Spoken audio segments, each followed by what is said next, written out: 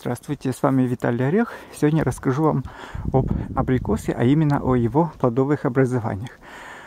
Э, некоторые люди спрашивают о том, э, нужно ли обрезать э, шипы, которые на абрикосе расположены на ветвях, и что с ними делать, какая их функция. Значит, эти шипы, это называется копьяца. Это плодовые образования, на них в основном э, расположены цветочные почки. И весной, когда цветет абрикос, можно увидеть, что они все покрыты цветами.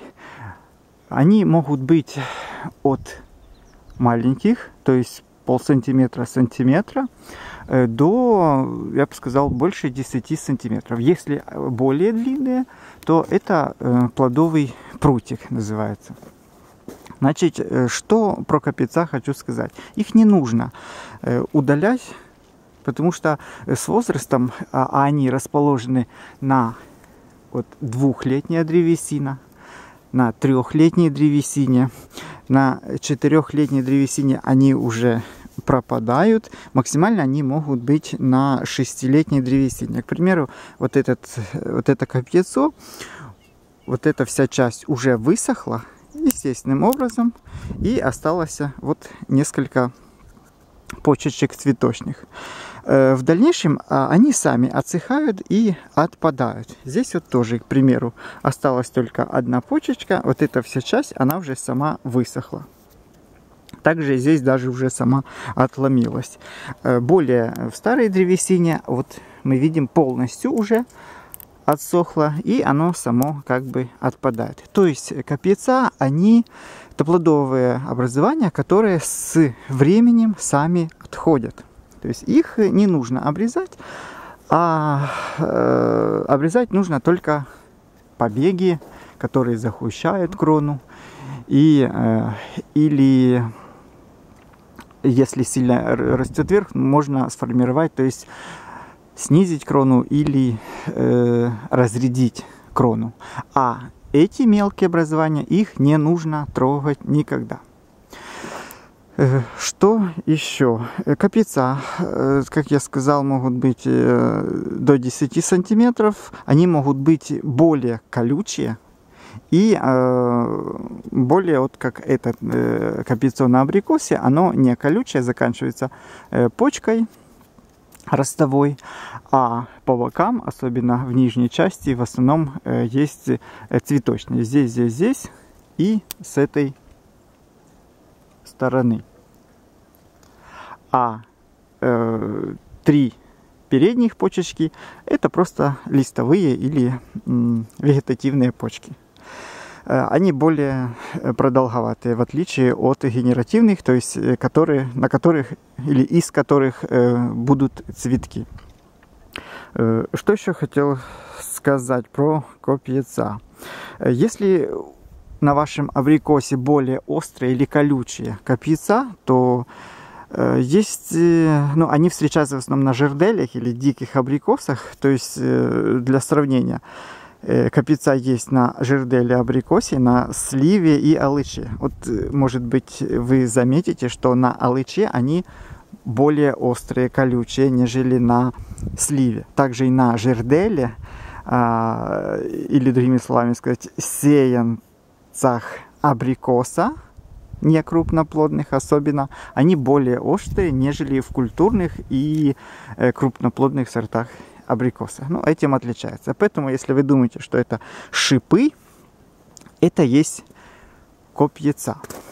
И дальше я расскажу вам, что как плодоносит абрикос. Он плодоносит также на однолетних побегах. Вот однолетний побег.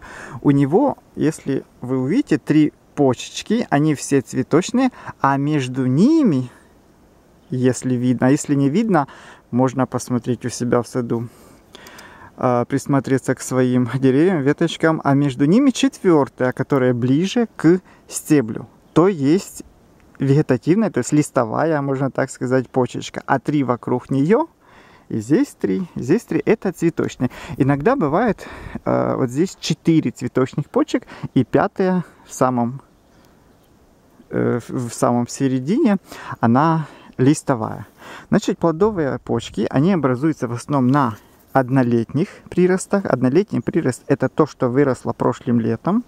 И также на плодовых образованиях, которые называются э, плодовые веточки. Они длиннее 15 сантиметров.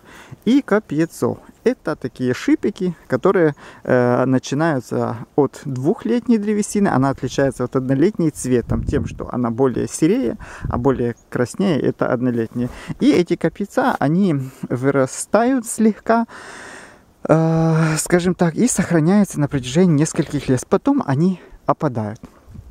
И, и при обрезке нужно учитывать, э, что если вы обрезаете абрикос, то нужно э, оставлять именно однолетний прирост. Ну, к примеру, если я возьму вот эту ветвь и, и хотел бы разрядить, то вот ветвь, которая уходит вверх, хоть она тоже однолетняя, но она мешает другой ветви, э, я бы ее перевел вот на эту веточку, которая будет плодоносить, так как она однолетняя и на ней есть плодовое образование.